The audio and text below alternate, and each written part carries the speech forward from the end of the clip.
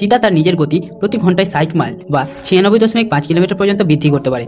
আর তাও মাত্র তিন সেকেন্ডে, যেটি পৃথিবীর যে কোনো স্পোর্টস কার থেকে দ্রুত বলে ধরা হয়। আপনি কি কখনো চিতাবাঘ দেখেছেন?